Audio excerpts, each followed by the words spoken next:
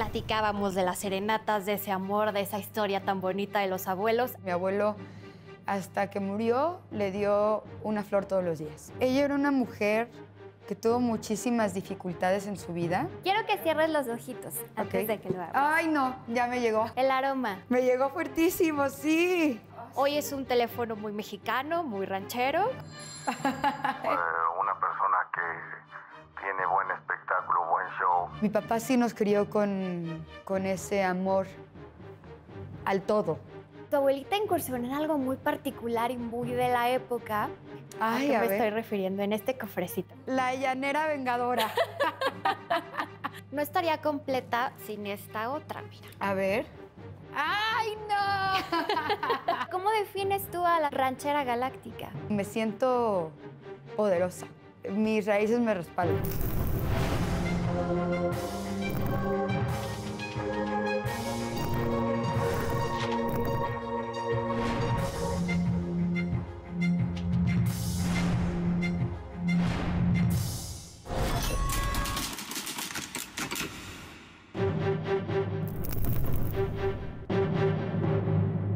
Abuelos juntos hasta el final, en la salud, en la enfermedad, en los triunfos. eh, y pues sí, tengo un ejemplo muy bello donde yo tampoco espero menos. Tengo recuerdos de ellos al final, ya en una edad mm, pues mayor, viendo la tele agarrados de la mano. Mm, un amor hermoso.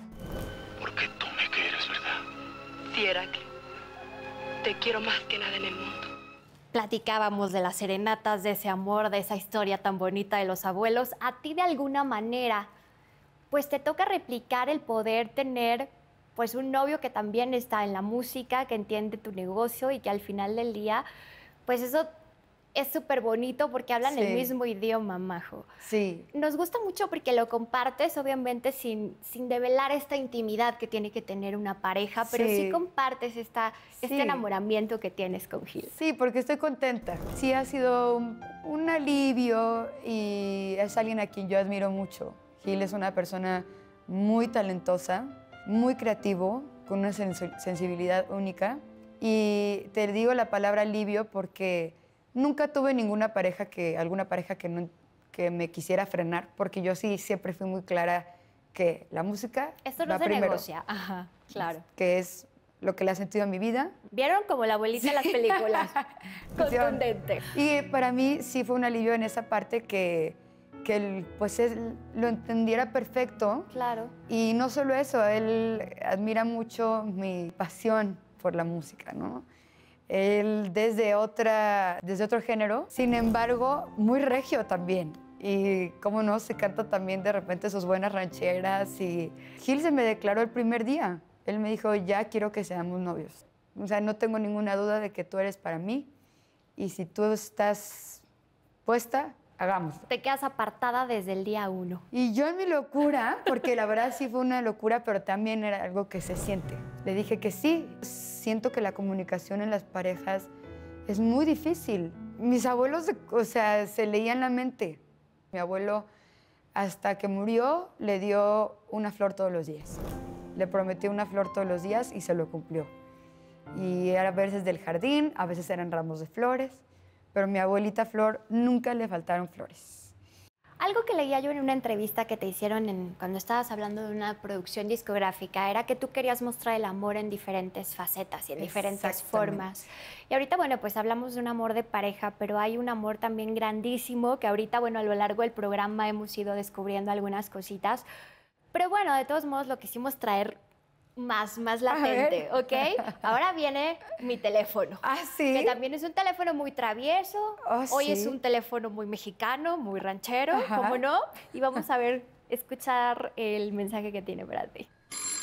Yo estoy feliz de que mi hijita, Ay. por sus propios méritos y su propio esfuerzo, haya llegado donde está. Todavía le falta recorrer mucho camino, pronto.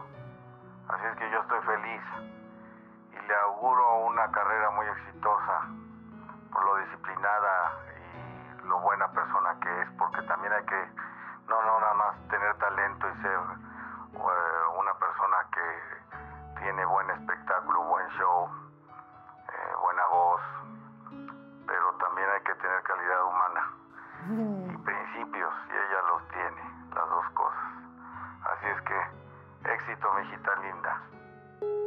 Salud por eso, don Antonio. Muy correcto, sí. el papá del que hemos estado hablando, Majo, pero lo queríamos traer más, más cerquita de ti. Y, y lo hicieron hablar serio por primera vez. Ah, sí, es muy, muy de, muy bromista. Habló muy, muy propio, muy serio, hasta se le escucha la voz muy seriecilla. Pero muy Eh, sincero. muy sincero y mm, yo con mi papá tengo una relación de muchísimo amor y de mucha admiración a su persona. Porque como te comentaba, para mí lo más importante, la cualidad más importante que debe de tener alguien es que sea bueno de alma. Y yo creo que, bueno, primero gracias a mi papá que mandó ese mensaje que me hizo chillar ahorita. Nuestro cómplice, gracias, don Antonio. Pero no te estoy mintiendo, ¿eh? es la primera vez que lo escucho así de serio, por eso me conmovió más. Para mí es muy importante la empatía con los demás, es fundamental, porque el mundo ya en sí de repente es muy duro, ¿no? Totalmente. Ponerte en los zapatos de las otras personas. Eso creo que me ha ayudado mucho a mi misión, que es conectar con los fans y con, con el público, ¿no? Y eso es algo que le aprendí mucho a mi papá. De repente soy muy sensible porque, porque mi papá sí nos crió con, con ese amor al todo, a los animales, a las personas, a, a valorar. a- Entonces, bueno, pues tengo un gran maestro y él tiene una conexión también muy especial con los fans. A ver, Ok. Aquí está, mira. Ay, esta foto es de mis favoritas. Es una foto preciosa. Es de las fotos más hermosas A que mí en lo particular me encanta ver a mis papás de pequeñitos, ¿no? Porque es algo que no nos tocó ver nunca más Claro, que en es una foto que qué, qué cosa esta foto a mí me, me encanta. Mi tío Pepe chiquititito, mi papá en brazos de mi abuelito Antonio, mi, mi tío Pepe en brazos de mi abuelita Flor. Los dos bellos, los cuatro bellos. Bellos. Viendo la foto, obviamente tienes muchísimas. Debe ser también bien complicado. Hoy te estoy poniendo tareas bien complicadas, Sí. pero elegir una anécdota, la que más te guste de tu papá y que nos, des- nos haga descubrirlo en otra faceta distinta a la de ser artista. Mi lenguaje con él siempre ha sido de mucho respeto. Sé que es mi padre, pero también soy muy llevada con él. Cuando éramos niñas, eh, pues era mucho más travieso, ¿no? Con nosotros. Mi papá era un niñote, la verdad. Entonces, un día, por ejemplo, estaba yo dormida y de repente salí a la cocina una vez y todos se me quedaban viendo, las cocineras, los que trabajaban ahí, eh, los de los caballos. Y yo, dije, pues, ¿qué me ven? ¿Qué me ven? Y entonces me veo en el espejo y decía, mensa. Y me había puesto con Sharpie, Tu papá. con, con plumón, cuando estaba, cuando estaba dormida. Ya sabíamos que la que se quedara dormida perdía. De compartir música, por ejemplo. Eh, él nos ponía, y creo que también eso tiene que ver con mi mis inquietudes musicales, de que me gustan muchos géneros, nos ponía de todo. O sea, desde mi abuelo, mi abuelita, a José Alfredo Jiménez, Chabela Vargas, que híjole, que, qué bárbara Chabela, ¿eh? Sí. Y al mismo tiempo nos ponía a Lily Allen, ¿no? Eh, o algo más alternativo nos ponía a Bjork. Luego en rock, eh, Café Tacuba nos ponía Led Zeppelin, nos ponía Pink Floyd. A mi papá le encanta y le encantaba irnos de, cuando éramos niñas y jóvenes, de la carretera de México hacia Zacatecas. No le gustaba irse en avión porque quería tener ese momento Ay, es que qué bello. de horas eh, escuchando música. Pues sí, hija de un melómano, ¿no? Al Melómano absoluto. Correcto. Absoluto, de verdad. Es una persona muy interesante. Cuando eran niños y construyeron el rancho, mis abuelos, todavía no llegaba la luz. Entonces leía. Platicábamos de las serenatas, de ese amor, de esa historia tan bonita de los abuelos. Qué bonito. Sí. Fíjate, algo que no sabíamos tal vez Sí. muchas personas y que estamos descubriendo aquí. Hay todo tipo de lectura. Sí, Y bueno, en su momento también, ya que hablábamos hace ratito del cine, pues tu abuelita incursionó en algo muy particular y muy de la época, que aquí vas a encontrar. Ay, ¿A qué a me ver. estoy refiriendo? En este cofrecito. A ver, a lo ¿Aquí? mejor sí, en este, que parece de piratita. vamos a ver. ¡Ay, no, qué belleza! Lo Las que te decía de la, correcto. de la personalidad, ¿no? Así es, De correcto. que nada de que calladita te ves más bonita. Nada de Era mujeres sumisas la llanera vengadora. Me encanta exactamente porque es el reflejo de lo que estabas diciendo, ¿no? Y estas historietas que, pues mira, ella también protagonista de, de historieta y, y como tú decías, de este Ay, carácter sí.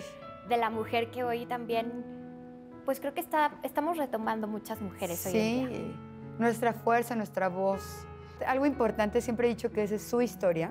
Yo no hice ningún mérito de todo eso que ellos hicieron. Entonces, por eso siempre es como con mucha humildad decir que son para mí mis abuelos admiración. La responsabilidad es conmigo de, de estar a la altura de los fans, de estar a la altura de la música mexicana y de estar a la altura de mí misma, de mi persona, de mantenerme leal a mis convicciones y a mis ideales, a mi corazón. Y a tus propias expectativas, ¿no? Por eso esta Ay, pero qué historieta espectáculo esto, ¿eh? no estaría completa sin esta otra, mira. A ver. Esto sí es una belleza y no sé si mucha gente lo sabía. ¡Ay, no! Porque digo, a mí me hace mucho sentido primero... Mira! La esto y después Galáctica, esto. el cómic. Es correcto. Ay, mira, es que sabes que, mira qué padre, qué belleza. Hablar de uno de pronto es complicado. Veo que tú dices, quiero ser muy respetuosa, no quiero que se considere que estoy hablando de mí. Yo la estoy haciendo que me hable de ella, porque son sus historias. Sí. Pero ¿cómo defines tú a la ranchera galáctica? Es que como que me cuesta hablar bien de mí. Majo, la ranchera galáctica, María José, pues eh, soy una persona muy transparente que es enemiga número uno de la falsedad. Yo no la soporto. Ahí significa que hay carencia de amor, carencia evidentemente de honestidad, donde no puedo conectar contigo. Soy una persona que le gusta ver mucho por los demás. Si alguien acude a mí, no dudo nunca en, En ayudar. en ayudar.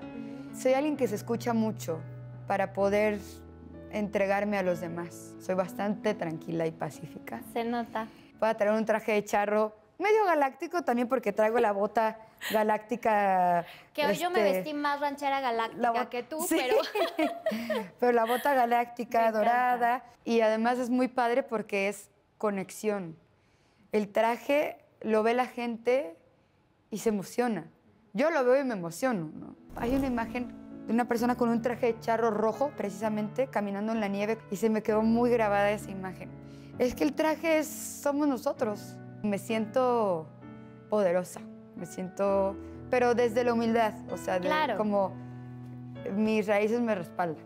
Es que todos tenemos que sentirnos poderosos, no tiene Sí. nada de malo eso, al Sí, contrario, no, ¿no? no, todos no. tenemos que luchar por buscar sentirnos así, poderosos y ser pues los protagonistas de nuestro sí, propio que esto cómic. no, ay no, qué belleza esto, no, se me va a de nuestra olvidar. propia historieta que además, Majo, pues también lo galáctico que tiene que ver pues con, el- con las estrellas. Y, y yo creo que pues al final a ti te toca estar cobijada por este cielo de estrellas reales y de estrellas de carne y hueso, ¿no? Así es. Que han marcado una diferencia muy especial y muy bonita. Creo que esto es una parte de mi personalidad, ponerle un toque más diferente a, a mis proyectos. Pero al final eh, soy la ranchera galáctica porque siento que soy una ranchera típica, pero con un amor profundo a la música y a, y a mi México. ¿Cómo se demuestra el respeto a la música mexicana y cómo se demuestra el respeto a nuestras raíces? Dando tu corazón. Yo como te recuerdo, será.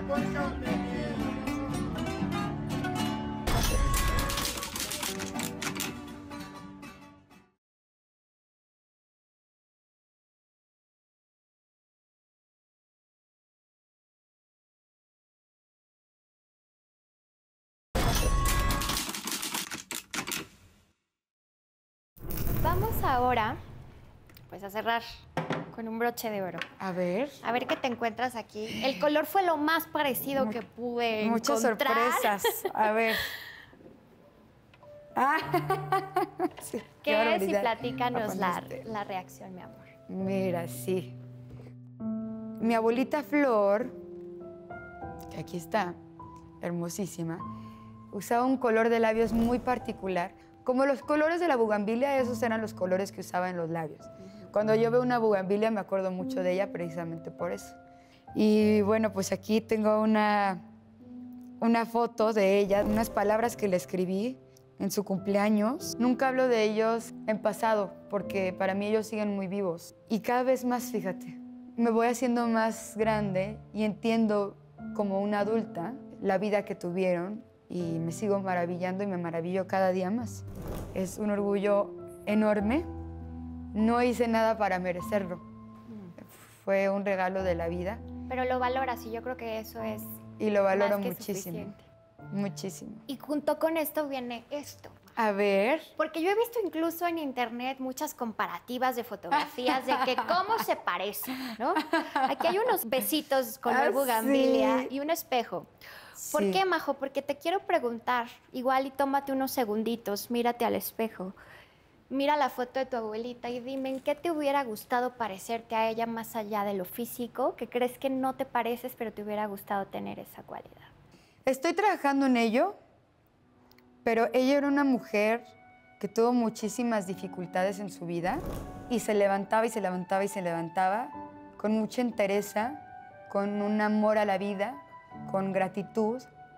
¿Y a qué, me refiero con que estoy trabajando en ello? Me considero una mujer muy fuerte, pero sí me gustaría robarle un poquito más de fortaleza a mi abuelita. Pero me lo estoy platicando y me estoy viendo no como un reproche, porque sí he sido yo también muy fuerte en muchas cosas eh, y me lo reconozco, te, te lo reconozco, me lo reconozco, te amo. Y bueno, quizá esa es una parte que le robaría un poquito más. ¿no? ¿Alguno de esos episodios donde la viste ser fuerte o que te cuenta que tuvo que ser fuerte en su vida? Seguramente el más fuerte fue la pérdida de mi abuelito Antonio, porque sí seguían amándose hasta el final profundamente y yo creo que mi abuela, con lo que te digo, que creemos que somos eternos, yo creo que ella como que nunca sintió que se iba a ir. Tuvo un funeral lleno de amor, mi abuelo, porque así se fue dando, las cosas se fueron dando así, nada, evidentemente nada estuvo planeado. Y entonces cuando mi abuela por fin aterriza a su recámara sin él, con su sillón, eh, fue muy fuerte para ella. Y sin embargo vivió muchísimos años más. Lo tenía en todas partes y eso le ayudó mucho. Ya ves que en el copiloto y bueno, también el piloto en los coches tienen para que bajes y se ve un espejo. Mi abuelita Flor no tenía espejo, tenía fotos de mi abuelito Antonio para que cuando fuera a la carretera o en algún lugar bajara y lo viera. En el rancho, puras fotos de él, sus lociones las olía. Esto es algo muy personal, pero yo creo que vale la pena compartirlo para, para que la gente sepa que ya saben, pero ese amor que ella tenía. Cuando mi abuelo fallece, a los eh, meses, iban a quitar el sillón y mi abuelita dijo, no, se queda donde aquí él se sentaba donde siempre. ellos se sentaban juntos. Y ella pone un pantalón y una camisa y unos zapatos.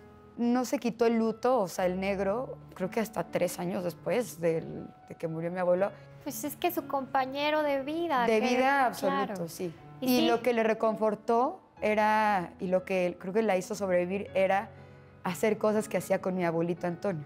Mira, eso es algo muy bonito para la gente que, que nos ve y nos escucha, ¿no? Sí. Eso puede ayudar mucho al duelo, ir poquito Claro. a poquito Y procesando. claro, y respetar los procesos de que cada quien tiene. cada quien. Hay mucha gente que tiene opiniones divididas sobre cómo se debe hacer el, el funeral de alguien que fue tan grande, ¿no? Como fue mi abuelito Antonio.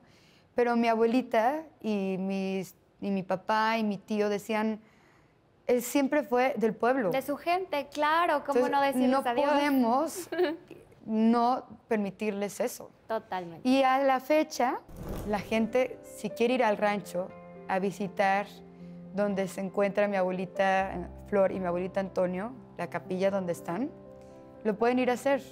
Hay un libro que es así de grueso, que ya lo cambiaron varias veces, de hecho, donde la gente escribe que visitó la, eh, la tumba de mis abuelos, ¿no? En el Cerro de San Cayetano, como él lo quiso, como mi abuelita Flor lo quiso también. ¿Qué te dice eso? Que es tan grande el amor que ellos dieron a los demás que todavía la gente quiere sentir un pedacito de ellos y los va a visitar. Yo no he visto a alguien con más, bueno, lo he visto en mi papá, fíjate, unos detallitos, con tanto conexión con la gente como mi abuelito Antonio. Y yo creo que por eso fue la conexión con mi abuelita Flor. Correcto. porque ella también tenía ese don de la conexión. Una mujer increíblemente sencilla, eh, pies en la tierra bien puestos, igual que mi abuelo. Mi abuelo no podría haber estado con una persona que no... Que fuera una diva, ¿no? No.